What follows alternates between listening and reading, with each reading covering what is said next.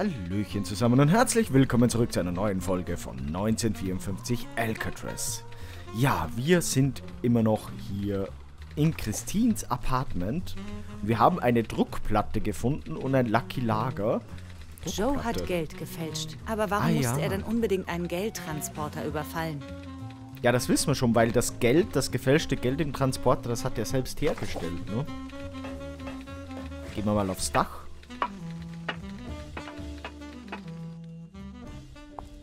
Oh.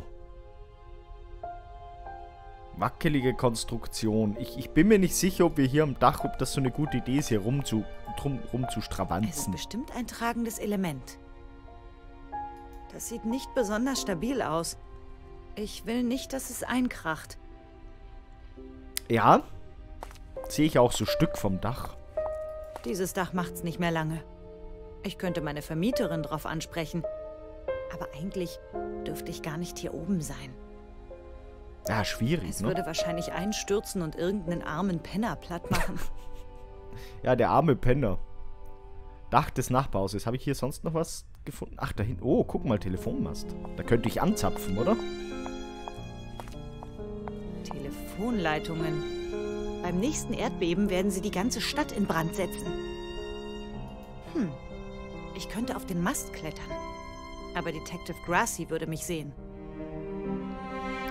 Dachte, ach, da ist auch. Ah, da ist auch ein Nachbardach. Spring? Nee, da bringe ich mich nur bei um. Ich bin doch nicht mein Kater. Ich habe auch noch niemanden, der dann auf ihn aufpassen würde. Oh. Spring? Nee. Ja, okay. Okay, sie ist also. Boah, sie sorgt sich um ihren Kater. Das ist ja schön. Ich bräuchte schon einen echt guten Grund, um über die Planke da zu gehen. Ja, hast du keinen, oder was? Gut, offensichtlich nicht. Na gut, dann, ähm, ja.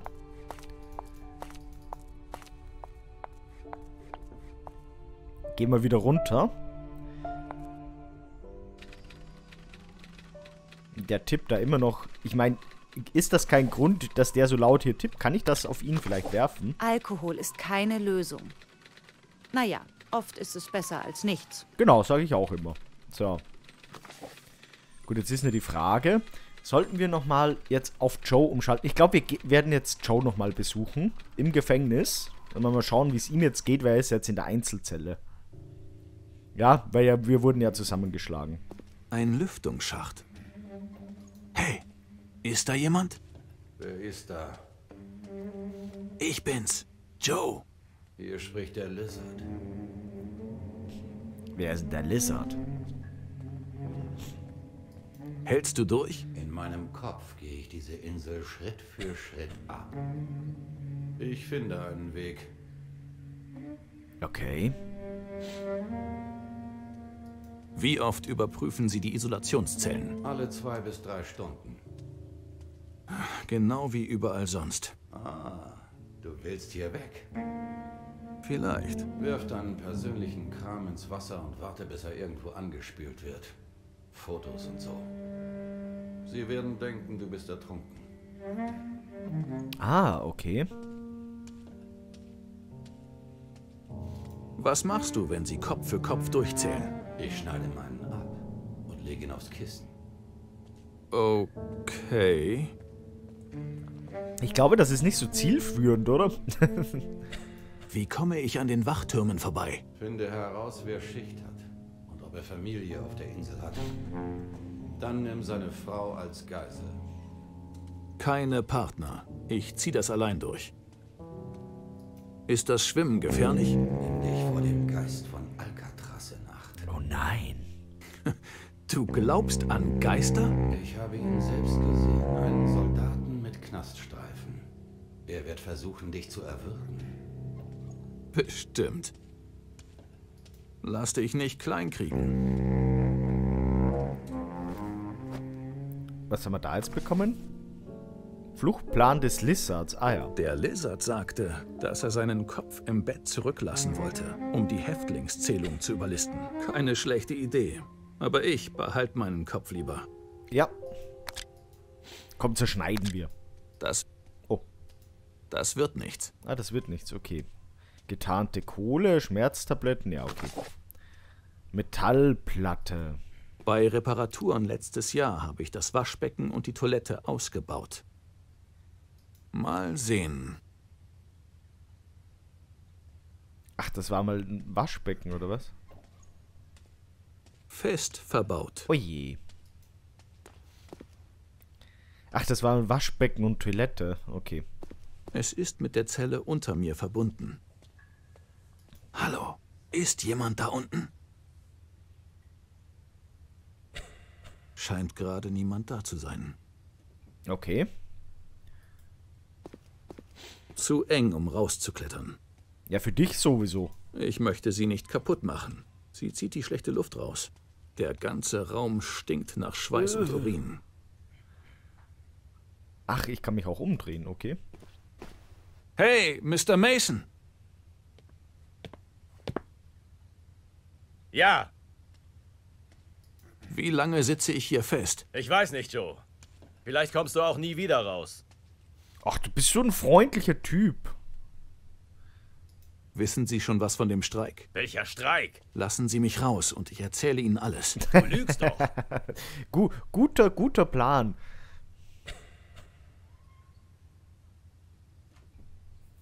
Es wird bald einen Aufstand geben. Ruhe! Tut mir leid wegen dem Ärger. Ich war nur so wütend wegen meiner Frau. Ja, ich weiß. Ich hab's mitbekommen. Es war ein Missverständnis. Natürlich will ich arbeiten. Je nachdem, was der Direktor sagt. Joe sitzt in Einzelhaft. Vielleicht kann Christine helfen. Um den Charakter zu wechseln, klicke einfach auf das Bild von Christine im Inventar. Ah, okay. Gut. Dann hab, haben wir jetzt Joe fertig gemacht. Die, die, die Joe-Quest, ja. Gehen wir jetzt zu Christine. Ja, gut. Dann werden wir mit Christine jetzt doch mal kurz gucken, ob wir nicht irgendwas finden in der Stadt. So. Ah, jetzt sitzt die Katze da oben. Hast du irgendwelche Tipps für mich? Ach, die ist so süß. Ein weiterer Ausreißer. Ja. Ich weiß Ja, nie, wo er ja, sich rumtreibt. Ja, ja, alles gut. So. Gut, dann gehen wir mal raus. So, dann schauen wir mal, wo wir jetzt hinkommen. Wir könnten natürlich jetzt gleich Wiss Apartment bei Wiff, also Wiffs, ähm, weil der war doch...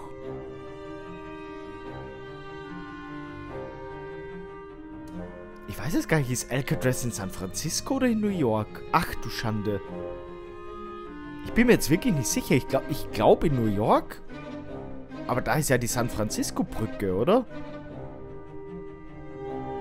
Du Schande. Ja, Ge Geografie und so, weil San Francisco ist natürlich ganz äh, auf der anderen Seite von Amerika. Ja, egal, komm. Ja. Das soll jetzt keine Geografiestunde sein. So, Viffs Apartment. Ich glaube, es ist in San Francisco. Joe. Vielleicht weiß sie etwas über die Beute. Peinlich, peinlich eigentlich, ne? Viv? Ich hoffe, sie ist nicht tot. Sie wohnt da oben ganz allein. Was ist denn das eigentlich? Ein, ein Restaurant-Speiseplan. Ich liebe das Essen hier. Wie gut muss es erst in China schmecken? Was sieht denn heute Abend besonders gut aus? Was sieht denn heute Abend besonders Hm, Ich würde es gern sehen. aus? Nee, haben wir auch nicht mitgenommen. Okay. Die Küche. Was haben wir da sonst noch so? Lampenschirm. Komm, den nehmen wir mit. Sie hat schon ein Händchen für Deko. Ich will den Der mitnehmen. würde gar nicht in mein Apartment passen. Ach, komm, sicher. Tisch? Was steht auf der Tageskarte? Mmm, eine neue Suppe. Lecker. Oh, voll Hier ist lecker. alles schon geputzt für morgen. Ja, dann gucken wir mal in die Küche. Ich weiß, ich soll nach oben, aber ich gehe zuerst in die Küche. Und mal schauen, ob da noch wildes Treiben ist. Nee. Schade. Sie sind schon weg. Die Köche hier sind der Hammer. Die verscheißern mich immer, wenn ich eine Bestellung durcheinander bringe. Ah ja. Vox auf dem Herd. Ja, guck mal, da ist aber schon, da, da brät noch was. Ein paar gusseiserne Woks und Töpfe. Hm. Ehrlich gesagt hätte ich gedacht, hier gibt es mehr Woks. Immer diese Vorurteile. Ich könnte wirklich etwas Suppe gebrauchen. Fehlt eigentlich nur noch eine Kelle. Ja, die war ja drüber irgendwo, ne? Da. Ist noch ganz sauber. Ja, dann nehmen wir Könnte die. noch nützlich werden. Komm, wir klauen einfach die Kelle. So, jetzt aber. Fehlt eigentlich nur noch eine Kelle. Ist okay. Mit der Kelle nehmen wir ein bisschen Suppe.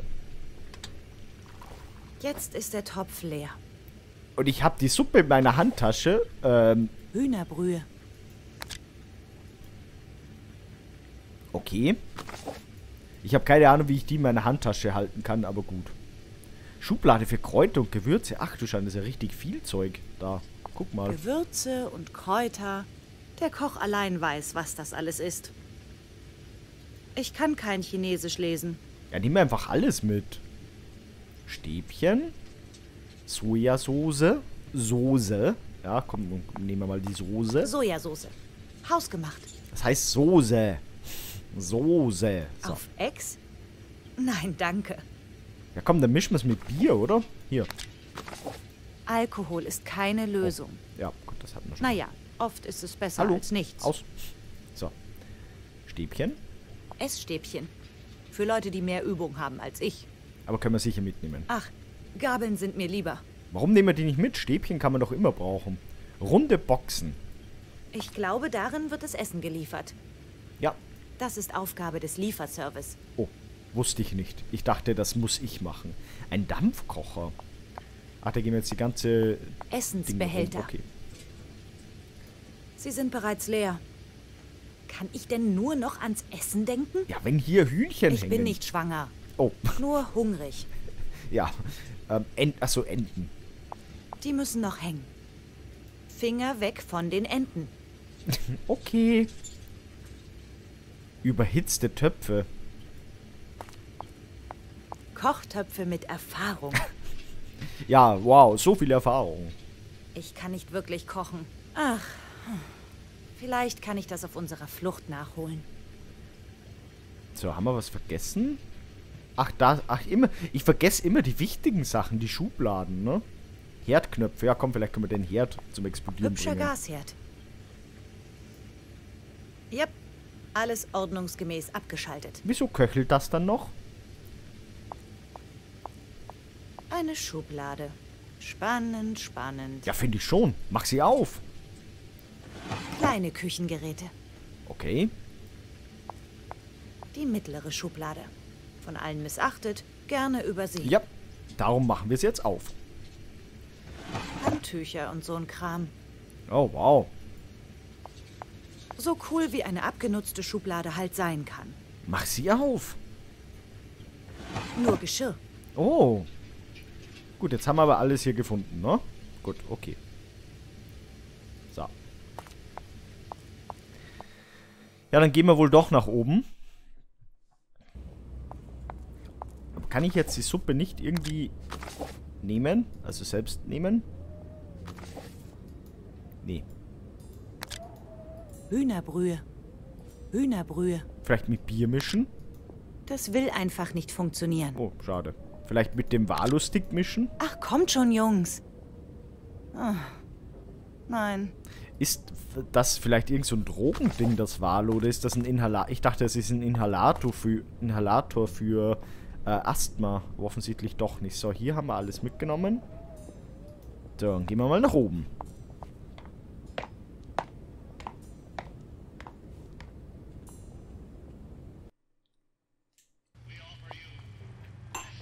Oh, ui. Mit, mitgenommenes Radio, Gummihandschuhe, leerer Topf. Sieht irgendwie ein bisschen unordentlich aus hier. Handschuhe voll mit Tinte. Ah, sie liegt sogar da. Färbt sie ihre Wäsche.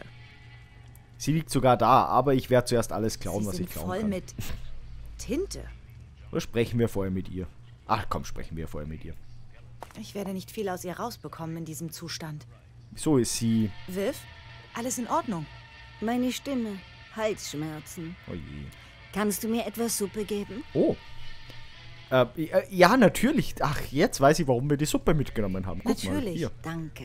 Ich fühle mich zu schwach auf den Beinen. Hab die Nacht durchgetanzt. Was für eine Suppe möchtest du? Ah, heiße Suppe mit Wintermelone. Was heißt die Suppe mit Wintermelone? Hier, guck mal, leckere Suppe. Nimm die. Hier für dich. Heiße Suppe. Da fehlt noch Wintermelone. Was ist bitte Wintermelone? Viv? Meine Stimme. Okay. Halsschmerzen. Was ist eine Wintermelone? Leer. Hm, riecht gut. Was auch immer das mal war. Zu schwer zum Herumschleppen. Oh, schade. Ein uraltes Gerät. Sogar die Programme darauf scheinen alt zu sein. ja klar, auf dem alten Radio kommt nur altes Zeug raus, ist Nicht klar, ne? den Regler berühren. Viv darf auf keinen Fall ihre Krimis verpassen. Okay. Kalender. Oh Mann, ich habe kaum noch Zeit. Ich hoffe, ich lebe noch lange genug, um das nächste Blatt zu sehen. Regal voll Zeug. Papierhandtücher, Kisten mit Schrott. Sie ist so sammelwütig wie ich. Ich habe nicht die Zeit, fremde Wohnungen zu putzen. Warum nicht? Komm, wir wollen doch den, den Leuten was Gutes tun. Eine Lampe. Bis vor kurzem hing hier noch Vivs alte chinesische Lampe. Inzwischen ist sie bei mir in der Wohnung. Ah, da kommt die also her. Kein Platz, um da etwas zu verstecken. So, ihr Kleid, was haben wir da? Obere Schublade. Interessant. Komm, wir klauen einfach alles. Oh, haben wir da jetzt eine weitere Druckplatte gefunden? Die Rückseite einer 20-Dollar-Blüte. Ah. Kann ich die kombinieren? Ich glaub's nicht. Oh. Scheint, dass Joe und Vivian zusammen Geld gedruckt haben. Ja, und jetzt komm, jetzt verbinden wir die noch mit den Nadeln, oder? Schade. Ich dachte auch, dass das funktioniert. Ja, finde ich schon schade. Die Platten gehören zusammen. Scheint, als hätten Joe und Viv sich ein kleines Zubrot gedruckt. Zeit, die gute Viv zur Rede zu stellen. Ja, machen wir gleich mal. Wie- Was ist da los? Vielleicht. Aber ich warte lieber noch mal Super. damit. Okay. Gut, was haben wir da? Ach, untere Schublade gibt's auch. Abgeschlossen. Nicht anfassen. Ach so. Alles klar. Du hier machst den besten Eindruck. Nicht anfassen. Ach so. Alles klar. Also nicht anfassen, mache ich ganz gerne. Hier, Die Klammer lässt sich bestimmt woanders besser benutzen. schade. Moment, muss ich da jetzt... Das klappt nicht. Ich wüsste nicht, wie das zusammengehen soll. Ja, das würde schon gehen. Komm, Das Vivian. braucht keinen extra Kick. Okay. Nämlich das. So, wir altes Foto. Sieht aus wie alte Familienbilder. Vielleicht Verwandte, die sie zurücklassen musste. Außer Viv könnte niemand etwas damit anfangen. Das war sie. Vor langer, langer Zeit. Das ist nämlich heiße Werbung, Leute. Heiße Werbung. Die hängt da ganz gut. Ja. Haben wir was vergessen? Ach, die chinesischen Zeitungen natürlich. Ja. Und unter, unteres Bett. Oh, eine weitere Haarklammer. Ah, sehr schön. Ich bekomme doch nicht mal mein eigenes Bett gemacht. Jetzt haben wir schon drei Haarklammern. Viv liest zwei bis drei chinesische Zeitungen am Tag. Ich würde kein Wort verstehen.